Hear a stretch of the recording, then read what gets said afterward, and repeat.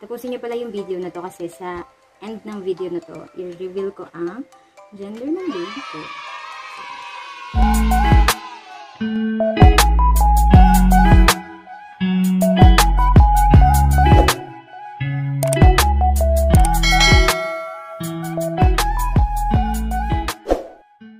Hi guys! Welcome back to my channel. So, ayan, ang tagal-tagal ko na namang hindi nakapag-vlog, hindi nakapag-gawa ng video.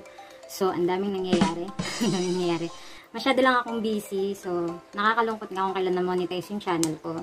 Hindi na ako nakagawa ng video kasi nga, bukod sa buntis ako, uh, medyo tinatamad akong gumawa ng kung ano-ano. Nag-online selling din kasi ako. So, yeah.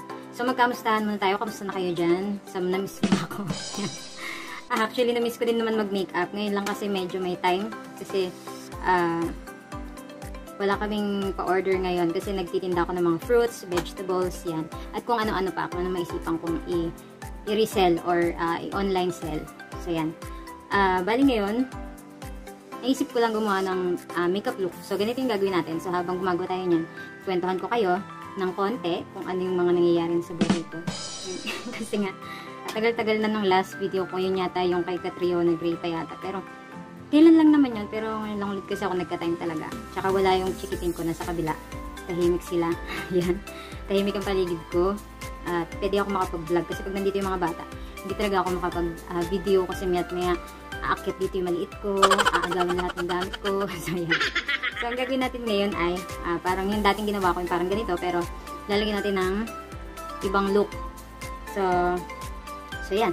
Start na muna tayo sa, so nakapaglagay na ako ng moisturizer. So, yung gamit ko pa rin yung eyes, ha. Jeju Eyes Aloe. Eyes Jeju Aloe. Yan tayo. Siyempre yung gamit ko, para lang ma-prep yung mukha ko kasi medyo matagal lang din nalagyan ng makeup yung mukha ko kaya permis yung itsura niya ngayon. Hindi katulad nung met may ako nagme-makeup. Lagi din siyang may ganap. So ngayon dahil hindi ako nakapag-makeup. Last makeup ko parang last 2 weeks ago. Umatin pa ako ng nag-makeup ako sa wedding. So, yan. So, bago pala tayo mag-start, don't forget to subscribe to my channel. Ayan, para dumami na tayo. Hindi ko talaga na napupukusan ngayon, pero sana kapag uh, makahinga-hinga na ako ng konti kasi hindi talaga ako makahanap ng time ng lugar ko. Kasi dito sa may dati kong uh, pwesto ay puro prutas na siya ngayon. Puro box, puro crates.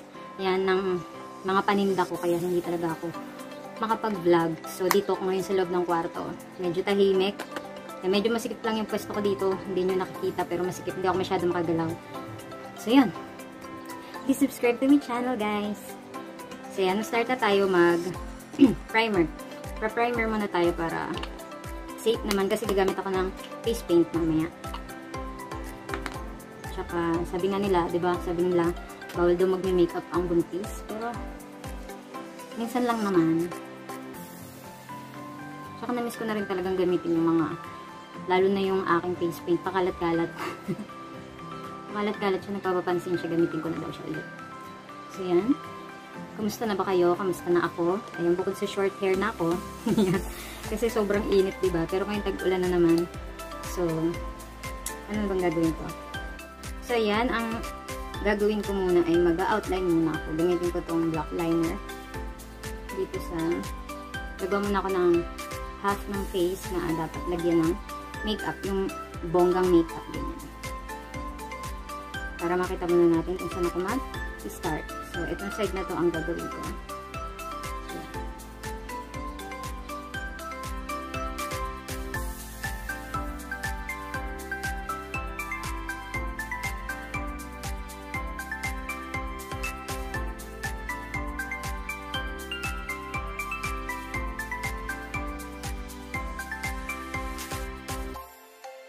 So, yan. Okay na muna yan siguro.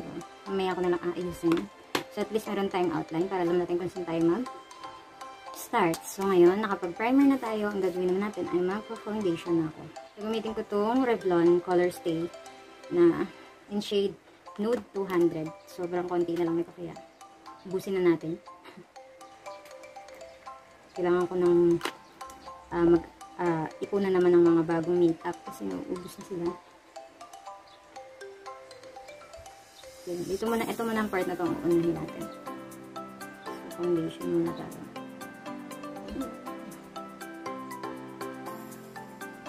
So, yan. Tapusin niyo pala yung video na to kasi sa end ng video na to, i-reveal ko ang gender ng baby ko. So, pangat pangatlong baby ko na nga pala sila. Sila. Pangatlong baby ko na nga pala to. So, yung panganay ko, si Sai. Then, yung pangalawa ko, si Allison. And, by September, lalabas na yung pangatlo. Kalain niyo yun. Hindi ko talaga akalain, guys, na makakatatlo ko. by the way, ako nga pala ay 28 years old na, kaya huwag niyong isipin na, baka isip yung bata-bata pa. Tanda na rin ako nun. mukha lang talaga akong, bansot lang talaga ako. Saka, mukha lang talagang, pag nakita niyo ako in person, parang ano, yung, yung nene pa yung tawag. Minsan ka nakakainis eh. Tatawagin ka ng nene. Hello, tatlo na po anak ko. Relief ka ba doon? Yung sa sobrang liit mo, sobrang parang ang, ang liit ng bulas. Kung may malaking bulas, may maliit na bulas. Kumbaga parang liit-liit ko kasi pag nagkakamala nila kung yung bata ko pa daw, ang dami na pong nangyari sa buhay ko. Marami na po akong pinagdaanan, hindi niyo po alam. Kaya mapapansin nyo, maputi siya para mag... So, kailangan talaga mas maputi yung foundation na gamitin natin para mag puff yung parang mascara niya. Kasi pag hindi, hindi mag-highlight yung ating mask.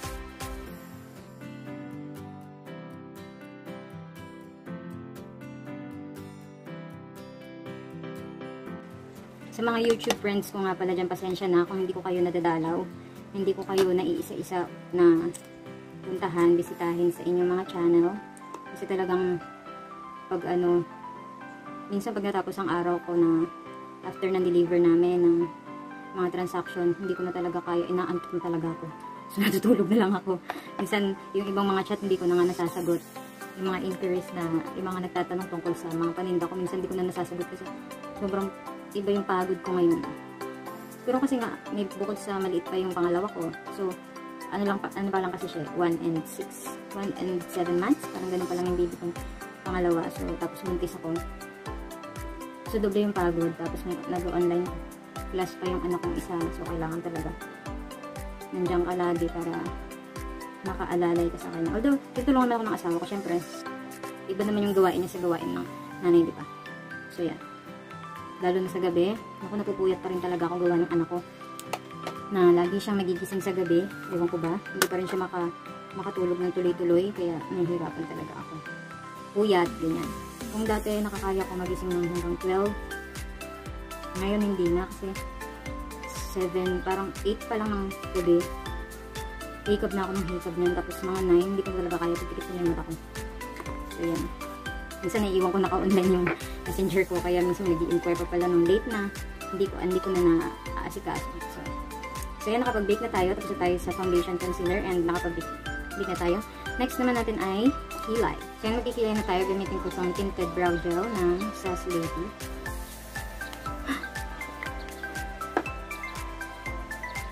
Focus muna tayo sa kulay. Wait.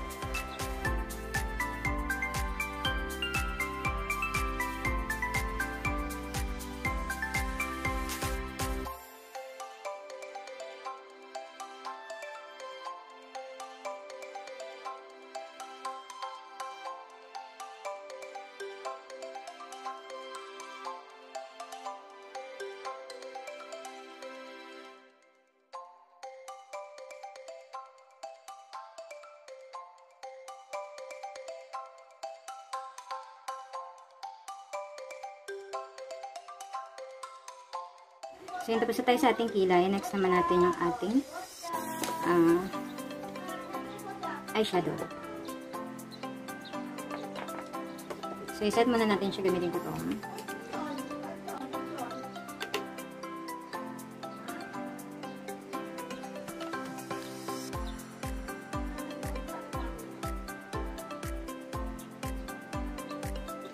So, yan. Ang eyeshadow natin ngayon ay medyo gagawin natin makulay. Kaso wala akong, ko alam kung meron akong eyeshadow na medyo kakaiba. Kakaiba. So, ito lang yung eyeshadow na meron ko. So, yung yellow and yung orange. Yan. So, try tayo ng ibang shade ng eyeshadow. Total, hindi ko pa yun natatry. Sana mag-work.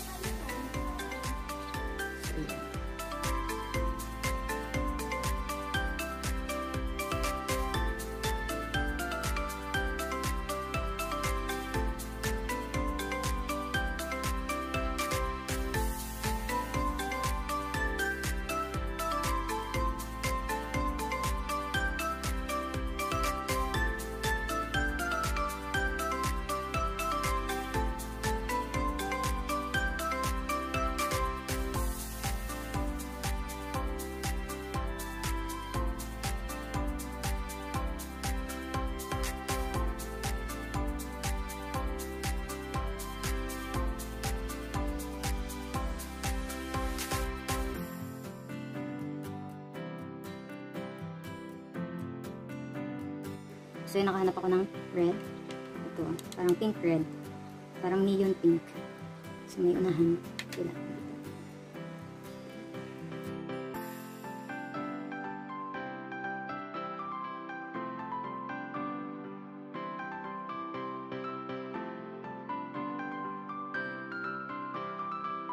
Kakat crease natin siya gamit itong eyeliner. Ay, konting concealer. Cut crease tayo. Parang medyo husky yung boses ko. Papansin ko nga matagal nito. So yun na nga guys. So, naloko na naman yung sarili ko. daldal ako ng daldal kanina. Akala ko naka-play. So, hindi pala. so, yan na nagawa ko na. Nakapag-cut crease na tayo. Nakapag-lagay na ako ng shimmer.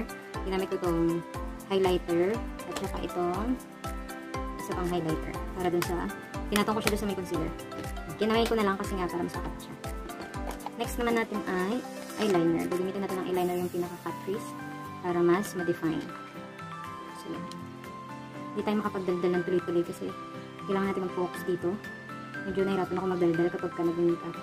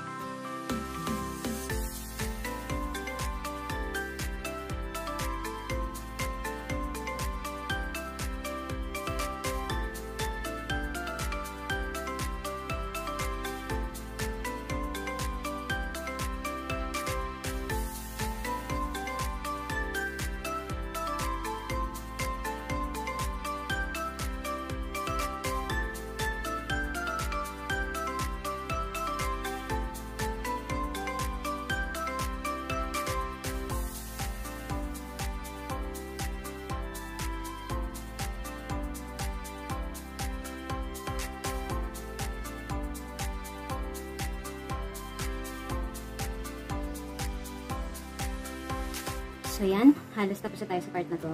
So, ang gagawin naman natin ay yung sa labas na part. So, yan. Para ma-define yung ating mask, gagawin ko.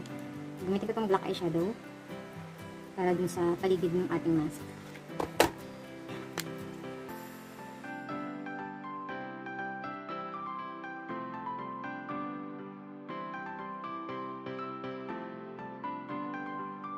So yan, natapos ko na lagyan ng outline yung ating mask. So ang gagawin ko naman ngayon ay magdodrawing tayo ng maliliit na petals around the mask.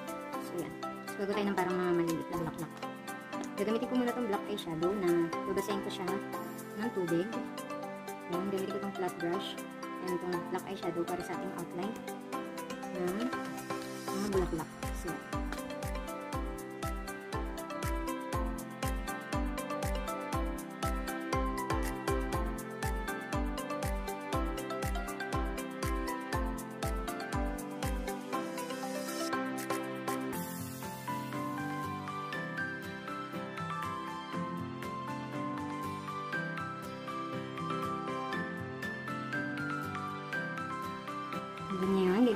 Siya ng face paint. Gamitin ko itong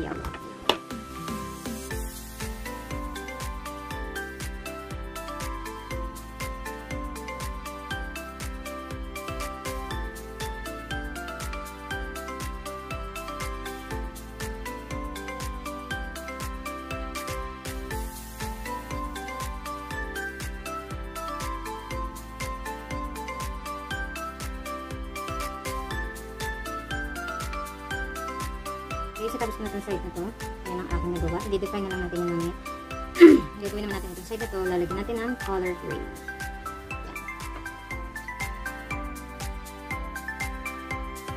Few inches later.